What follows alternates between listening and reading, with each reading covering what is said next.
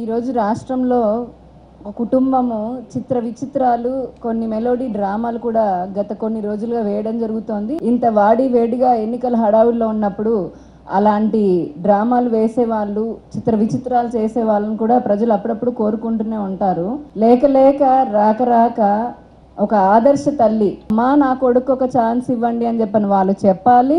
ఎందుకంటే కొన్ని వలస పక్షులు ఉంటాయి. మనం పులికాడ్ సరస్సు దగ్గర అలా కొంచెం కొన్ని పక్షులను చూస్తూ ఉంటాము.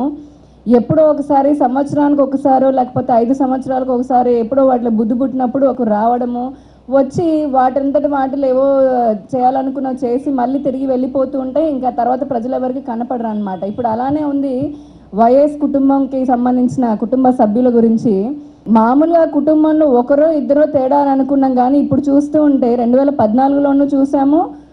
రెండు వేల పంతొమ్మిదిలోనూ ఇప్పుడు చూస్తున్నాము. ఒకరి ఇద్దరు కాదు ఒక కుటుంబ సభ్యులందరికీ కూడా ఏదో మొత్తాన్ని ఒక మానసికంగా తేడాగా ఉన్న పరిస్థితిని ఎదుర్కొంటున్నారేమో వాళ్ళు. ఆవిడ షర్మిల గారు అంటే జలగన్న వదిలిన బాణంలాగా ఇప్పటికీ షర్మిలారెడ్డి గారు చెల్లెలు వచ్చి ఏదో మాట్లాడుతూ ఉన్నారు కష్టపడుతూ ఉన్నారు మంగళగిరిలో. మళ్ళీ నిన్న తల్లి గారిని దించారు విజయమ్మ గారు. ఆవిడ ఒక చేతిలో బైబిల్ పట్టుకొని ఇంకొక చేతిలోనేమో మైక్ పట్టుకొని చెప్తూ ఉంటారు. మా కొడుకు ఒక ఛాన్స్ ఇవ్వండి నా బిడ్డకు ఒక జీవితాన్ని ఇవ్వండి నా బిడ్డకు ఒక ఛాన్స్ ఇవ్వండి అంటున్నారు. ఒక తల్లిలాగా మేమంతా ప్రశ్నిస్తూ ఉన్నాము. ఎందుకు తల్లి నీ కొడుకు ఒక ఛాన్స్ ఇచ్చి మా బిడ్డలందరినీ రోడ్లపైకి ఈడ్చడానిక జైలు పాలు చేయడానిక ఈ రాష్ట్రంలో ప్రతి తల్లి కూడా మిమ్మల్ని ప్రశ్నిస్తున్నారమ్మ విజయమ్మ. కాకిపిల్ల కాకి ముద్దు అని అంటారు పెద్దలు.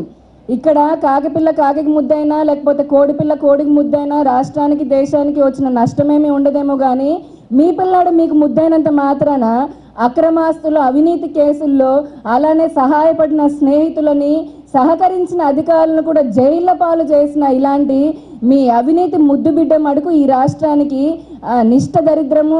మీ ముద్దు పిల్లాన్ని మీ ఇంట్లో ఉంచుకోండి లేదంటే ఆయన జైల్లో ఉన్నప్పుడు ఎలాగూ మీరు క్యారేజ్లు ఇచ్చుకుంటూ ప- ముద్దు చేసుకున్నారు కాబట్టి మీకు అలాంటిది నచ్చితే గనక అలానే చేయండి. కానీ దయచేసి మీ తల్లి ప్రేమ ఏదైతే వాత్సల్యం ఉందో ఆ వాత్సల్యాన్ని వంక అడ్డు పెట్టుకొని ఈ రాష్ట్రంలో ఉన్న రాబోతున్న భవిష్యత్తు తరాలందరినీ కూడా వాళ్ళ జీవితాన్ని మటుకు రోడ్డు మీద పెట్టొద్దు అని చెప్పని ఈ రాష్ట్రంలో ఉన్న తల్లులందరి తరపున కూడా మేము వేడుకుంటున్నాం. మిమ్మల్ని ఎందుకు పొర్రపాటునో మా గ్రహపాటునో వస్తే రాకూడదు. ఒకవేళ వస్తే ఈ రాష్ట్రాన్నే కాదు రాష్ట్ర ప్రజలందరూ కూడా ఏమైపోతామని భయభ్రాంతులు ఈరోజు ఉంటుంటే మీరు మటుకు నిస్సిగ్గుగా మీడియా ముందుకు వచ్చి నా కొడుకు ఒక ఛాన్స్ ఇవ్వండి అని చెప్పని చెప్తుంటే మీరు ఏ మొహం పెట్టుకొని వస్తున్నారన్న కూడా మాకు అర్థం కాని పరిస్థితి ఈ రోజున ఈ రాష్ట్రంలో ప్రజలంతా అనుకుంటున్నారు. అమ్మ మీకు గుర్తులేదా? మమ్మల్ని గుర్తు చేయమంటారా? రాజశేఖర రెడ్డి గారు బతుకున్నప్పుడే జగన్మోహన్ రెడ్డి గారు అరాచకాలను భరించలేకే కదా? మీరు అక్కడ బెంగళూరులో ప్యాలెస్లు కట్టి మరి ఆయన పక్క రాష్ట్రానికి పంపించారు. మీకు గుర్తులేదా? చిన్నానతోటి బలవంతంగా ఎంపీ రే-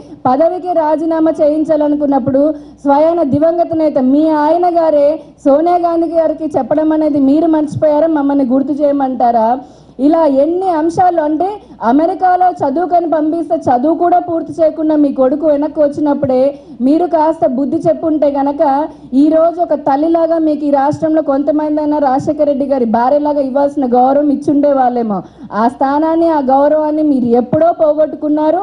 లోపల మీ మీ పరిస్థితి చూస్తే మాకు జాలేస్తున్నాము ఎందుకంటే మీకు తెలుసు మీ కన్న కొడుకు ఎంత దుర్మార్గుడో ఎంత నేర చరిత్ర ఎలాంటి అవినీతి కలవాడో అనేది మీకు తెలిసినా కూడా తల్లి ప్రేమ కాబట్టి మిమ్మల్ని మీ కూతుర్ని స్వయాన రాజకీయాలకు కూడా ఆయన ఉపయోగించుకొని అవసరం తీరిపోయాక ఇంట్లో కూర్చోపెట్టిన ఆ సంఘటన గుర్తు చేసుకుంటూ మనసులో ఒక రకంగా బాధపడుతూనే బయటికి మడుగు మీ కొడుకు వత్తాసు పలుకుతున్న మీ దీన స్థితిని చూస్తే నిజంగా జాలి పడాలని చెప్పని అనిపిస్తుంది మాకు.